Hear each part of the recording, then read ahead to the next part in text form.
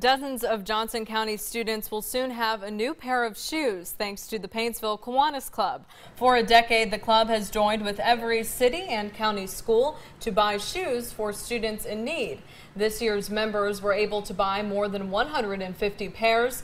Today, they gave the shoes to resource teachers from around the county who will deliver them to students.